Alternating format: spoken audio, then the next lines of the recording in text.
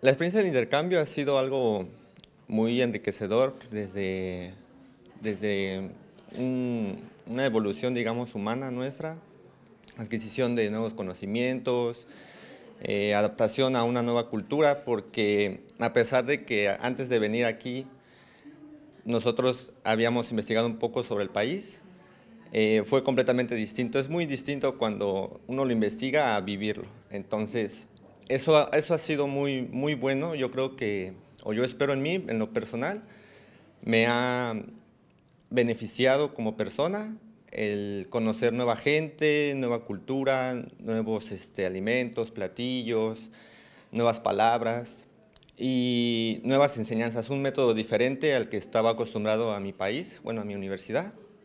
Ha sido muy distinto. Creo que me enamoré de muchas cosas, por ejemplo, del mate. El mate fue algo muy bonito que me gustó de este país. A nivel educativo, los maestros pues siempre nos trataron muy bien, siempre hubo una coordinación de los temas, muy bien este, estructurado cada uno de ellos.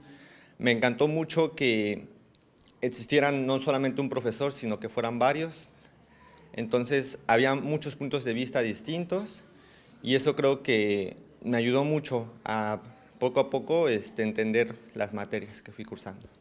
Y ahora cuando vuelvas a México, ¿cómo sigue tu trayecto de formación? Bueno, pues académicamente me faltan dos años de carrera y, bueno, aún hay algunas materias que tengo que este, completar ahí en, mi institución, pero dentro de lo que cabe creo que aquí he adquirido eh, una nueva visión, algo distinto, hábitos de estudio distintos que me han ayudado mucho. Entonces, pues creo que todo eso va a contribuir mucho a, que una vez que llegue allá pueda avanzar más rápido y mejor.